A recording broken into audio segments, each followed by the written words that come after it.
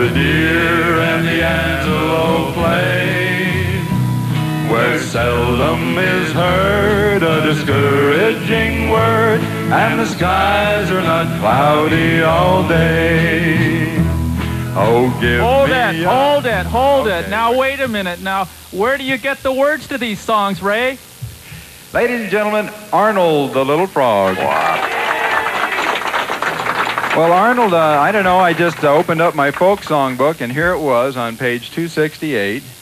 Well, you didn't read my book, obviously, uh, folks. Now, I want I want to make an announcement that uh, I'm gonna I'm gonna publish all my songs, which are the true folk songs, because I mean, who's a better authority here on folk songs, Ray or me? Sounds like Arnold's the authority. Okay, all right. Arnold. Anyway, what listen. are you the know, words? I want to show you how this goes. Hit it, boys.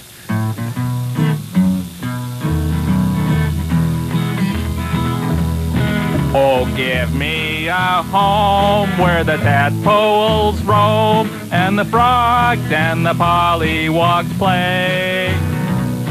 Where crickets are heard and the singing of birds and the water's not cloudy all day.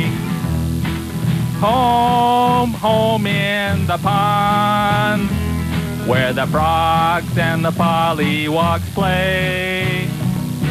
And there you can hear critters singing far and near, and the flies are so tasty all day. Now that's how it should go. Think Well- you could think you could learn that? Well, I don't know. That's pretty complicated for me. Uh, let's give a hand to Arnold.